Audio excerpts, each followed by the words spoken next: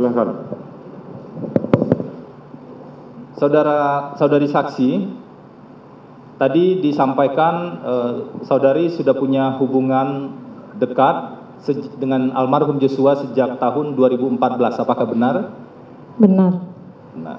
Apakah dari tahun 2014 tersebut sampai dengan tahun 2022 saudara saksi pernah dibawa dan diperkenalkan ke orang tua almarhum Joshua?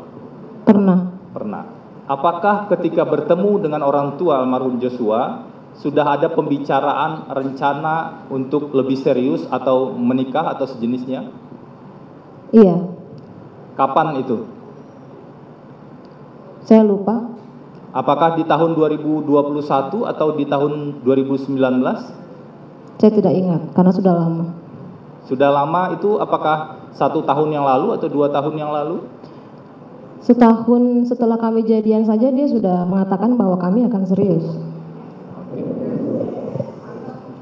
Apakah ketika almarhum Joshua menjadi ajudan Bapak Ferdi Sambo, saksi diberitahu secara langsung oleh Joshua?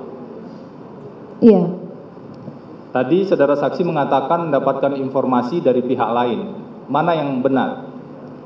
Dari Rudi itu dia mengatakan bahwa Bang Joshua ini lulus jadi ajudan. Kemudian saya bertanya kepada pacar saya, dia bilang, "Iya, saya lulus jadi ajudan, Dek. Ajudan Pak Ferdi Sambo.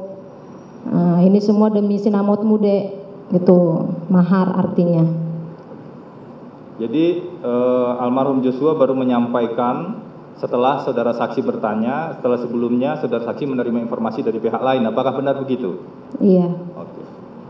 Saudara saksi, ini terkait dengan keterangan saudara saksi eh, tentang video call di tanggal 21 Juni. Kami ingin eh, mendapatkan jawaban yang lebih clear. Apakah pada video call pada tanggal 21 Juni tersebut ada ancaman pembunuhan yang disampaikan oleh almarhum Joshua pada saudara saksi? Tadi sudah dijelaskan tidak ada tanggal 21 Juni. Jangan diulang lagi sesuatu yang sudah ditanyakan. Terima kasih Yang Mulia, kami senang sekali ada penegasan bahwa tidak ada ancaman pembunuhan tanggal 21 Juni tersebut. Nah kembali ke peristiwa pada tanggal 7 Juli 2022.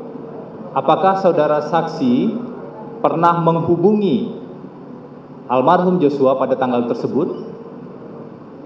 Tidak, dia nelpon saya tiba-tiba. Yang menghubungi berarti almarhum Joshua Iya. melalui eh, WhatsApp call atau video call? Majelis Hakim yang mulia kami keberatan karena dari tadi kami catat saudara penasihat hukum terdakwa terutama saudara Febri Diansyah itu selalu menyimpulkan dan membuat asumsi-asumsi sendiri Majelis Hakim. Baik. Terima kasih. Baik, eh, biarkan kami yang menilai. Lanjut saudara jaksa penuntut umum. Apa yang sudah kami tanyakan tolong jangan ditanyakan lagi. Terima kasih Yang Mulia.